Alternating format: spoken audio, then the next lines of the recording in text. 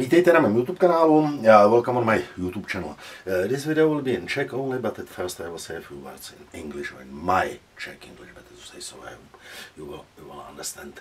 Uh, video bude v češtině, ale nejdřív řeknu se pár slov tomu mojí Čeko English, aby z toho něco měli taky nečesky mluvící odběratelé mýho YouTube kanálu. Uh, so, dear friends, I have now here on the table an old Czechoslovak tube mono amplifier Tesla Mono 50, uh, produced in the past Czechoslovakia late 60s, if I say it correctly, from 1968 up to 1971. We have now 2022, so if it was um, 1970, for example, 80, 90, 2000, so about 50 50 years old amplifier uh, this piece was lying here in front of my listening room few years or many years. And up to now nothing done with this with this amplifier. And uh, let's see what's inside because the condition of the outfit you see uh, missing some knobs. The power cable is cut off it's dirty from the back side but uh, I see the tubes inside. Uh, this amplifier should be for uh, 100 with 100 volts uh, output only 40 watts power and there should be uh, the uh, tube uh, EL34 um, Tesla inside. If somebody needs new ones. I have here one piece Tesla EL34 uh, Tesla Czechoslovak production and also very nice, I think not used RFT EL34 tubes there uh, under my Intel number uh, 178405 this both and this is uh, 178404 if somebody interested and I have also in the stock. Uh, this is not for for this amplifier. This uh, te Tesla knife connectors it's uh, I must say rather impossible to find them anywhere or to buy them. So I have a few pieces also in the stock uh, I will open the top cover and we'll see how does it look inside. Yes, it will be dirty and uh, because it's very, very old, I uh, will not connect it into the electricity. So in this video you can see only how does it look inside. And uh, at the end of this of this video, as it is usual, you can see the detailed photos from all, all sides. sides. So thank you for watching, thank you for subscribing to my YouTube channel, and now I will go on check.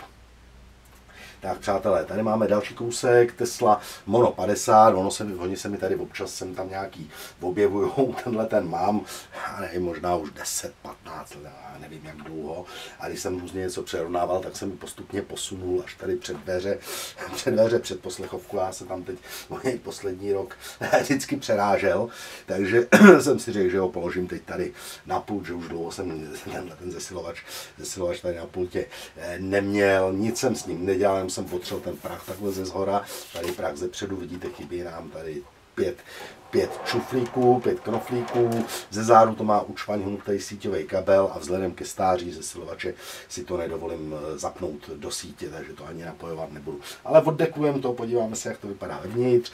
Eh, ze silovač se vyráběl eh, někdy v letech 68 až 71 hrubým odhadem a je pouze se 100 V výstupem, výstupní výkon 40, 40 W.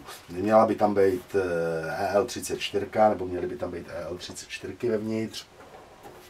Já e, jsem teď před chvilinkou ukazoval, mám tady tři kousky EL34, jak jsem ukazoval, jednu tesláckou, asi nepoužitou, a dvě RFťácký a ještě eh, tady pár nožových konektorů, co jsem různě pozbíral, jsem je dal tady do krabice. To není k tomuhle tomu zesilovači, ale používají se třeba na eh, Mono 130, Music 130, Music 70 a ještě k nějakým určitě, určitě dalším. Eh, zařízení půjde do prodeje pod mým pořadovým číslem 178 449 a bude vystavený u mě na webu v rubrice zesilovače profesionální musíme si tady vzít nějaký, nějaký, tohle asi není úplně, úplně optimální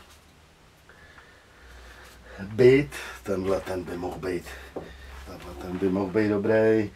Podíváme se, jak to vypadá vevnitř.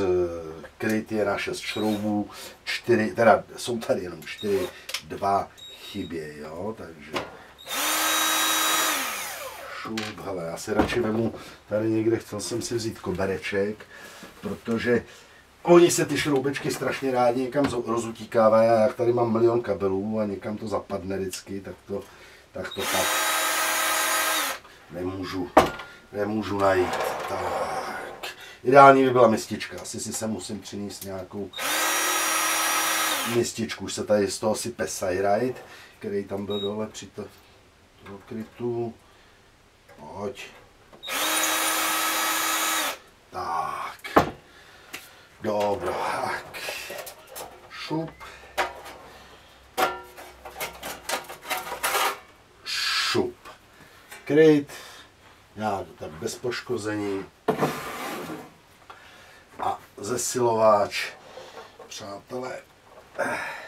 Jasně, dvě EL 34, zaprasený, špinavý, ale vypadá to, že se v tom nikdo asi, nikdo asi nevrtal. Já vezmu foťák, udělám asi milion detailních fotografií, fotografií ze všech stran a e, pokud někdo bude mít zájem, tak zesilovač, zesilovač je k dispozici, jak jsem říkal, pod mým pořadovým číslem 178 449. Takže přátelé, díky za pozornost a e, podívejte se, podívejte se na detailní fotky.